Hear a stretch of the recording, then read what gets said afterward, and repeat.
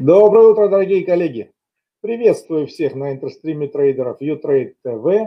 Меня зовут Игорь Суздальцев, и мы начинаем программу за сегодня, уже 8 октября 2018 года, понедельник. Поздравляю всех с началом новой трудовой недели. Желаю вам, чтобы она была успешной. Давайте посмотрим, что у нас сегодня говорит нам технический анализ. Напоминаю, что сегодня понедельник, день аналитики. А, торговля идет достаточно спокойно, умеренно, небольшими объемами, э, с небольшими ценовыми ориентирами. Итак, биткоин, коллеги. А, биткоин движется в достаточно узком торговом диапазоне. Сегодня показал некоторое снижение. Ну и такое впечатление, что вниз может прогуляться. Эфириум легкий минус сегодня. Лайткоин легкий минус. Эфириум классик легкий плюс. Манера легкий минус. Биткоин кэш легкий плюс. И Ripple легкий плюс по дню. Да? Хотя в целом, конечно, снижение с прошлой недели состоялось. Ну, разнонаправленное движение. Я думаю, что сегодня подвигов на, на рынке криптовалют не будет. Постоять вниз, допустим, по тому же э, биткоину. Почему нет? Почему нет? Американский сорт нефти, друзья. Мы торгуем ноябрьский контракт. Уже напоминаю. А, и через неделю будет уже декабрьский, пока я вам напоминаю. Так вот, четвертую подряд, сори, сори, третью подряд торговую сессию мы идем вниз.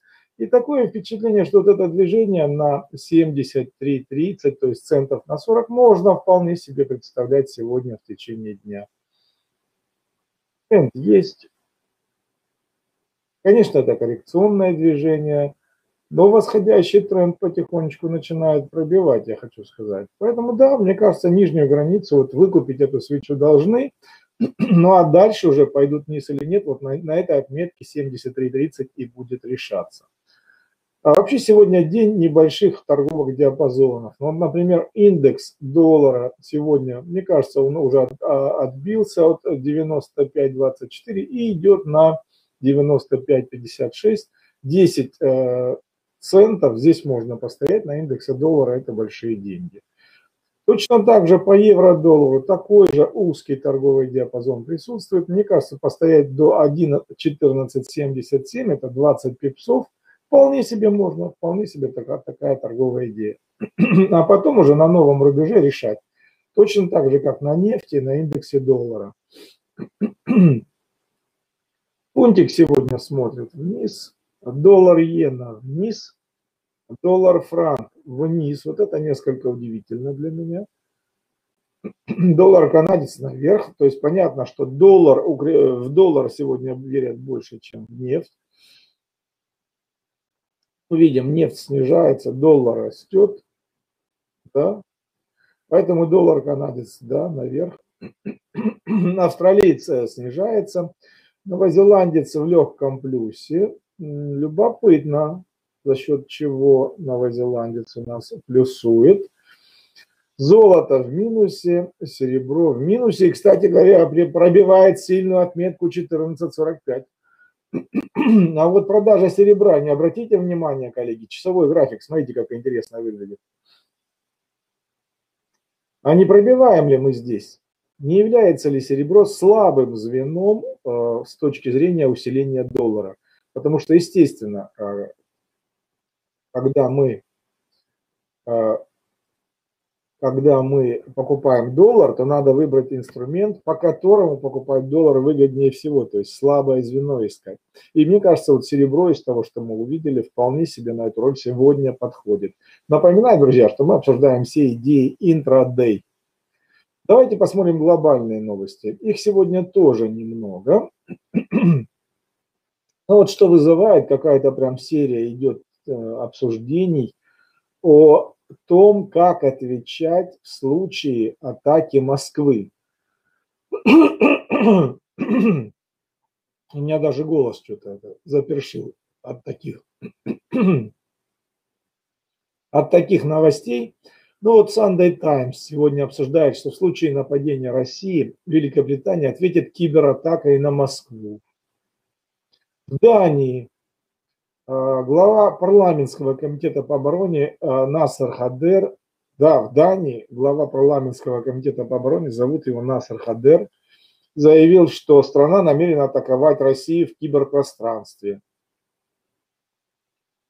Кандалиса Райс, бывшая госсекретарь э, США, э, предложила способ сдерживания России, поддержала размещение хорошо вооруженных батальонов НАТО в Польше и Прибалтике.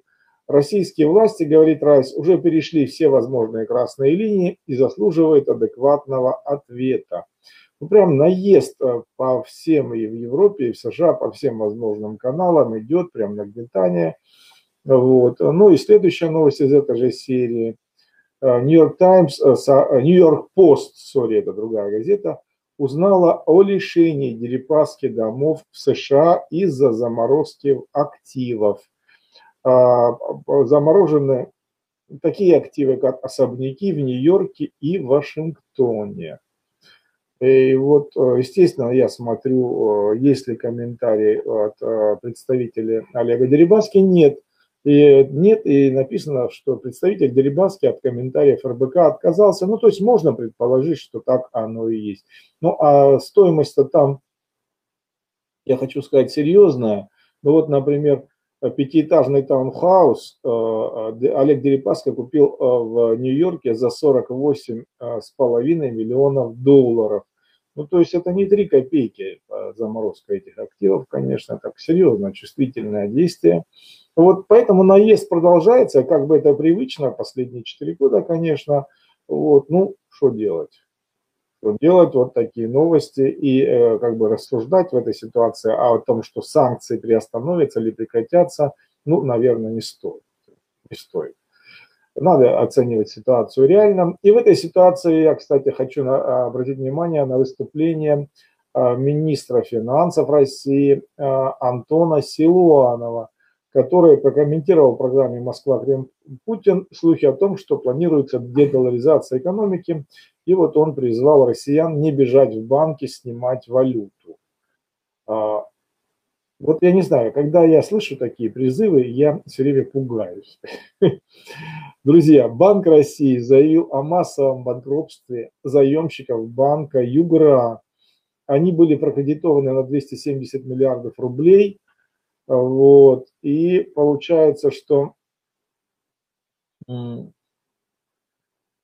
они, ну понятно, не рвутся возвращать средства банку как кредитору, и а, поэтому а, в их отношении а, запускается процесс ликвидации банкротства, ну, чтобы хоть что-то получить, естественно. Это очень серьезно, потому что 270 миллиардов рублей – это большое количество компаний, без сомнения, так что Сейчас они как-то еще жили, как-то держались, а, видимо, предел, предел наступил. Это тревожно. Далее, друзья, а, а, в России, оказывается, в Банке России создан департамент, а, Минфине, в Минфине создан целый департамент по борьбе с санкциями. А я не знал, а кто читал это? Я вот сейчас смотрю в новостях. Э, департамент по борьбе с санкциями, и вот сейчас обсуждается, как он сможет ли России помочь э, в этой ситуации. Да, то есть просто помните первые санкции, когда объявлялись и э, выступали различные политические фигуры, говорили о том, что они смешны, эти санкции, и на них не стоит обратить внимание. А вот сейчас Минфин создал департамент по борьбе с санкциями. Так надо обращать внимание или не надо? О, серьезная тема. Далее, коллеги, меня удивила статья. Материальные проблемы пожилых в России не так велики, как психологические. Да ты что, вы что там с ума что ли посходили все? Жать нечего пенсионерам. Материальные проблемы не так велики, как психологические. Ну, понятно, что когда есть нечего, то психология сразу в голове начинает происходить что-то непонятное. Ну, то есть смех и грех. Далее, друзья, хочу обратить ваше внимание, что в Париже идет автомобильный салон. Ну и, конечно, их впечатляют, э, так сказать, э, новыми суперкарами. Ну вот э, выпущен автомобиль Монца а, а Феррари выпустила такую-то Чилу. Видите, только это место одно здесь. Такая гонка для города. Вообще фантастика. А два места есть. Вот Audi мне нравится такая солидная машинюшка. Mercedes-Benz. По-новому как-то сделали морду ему. А,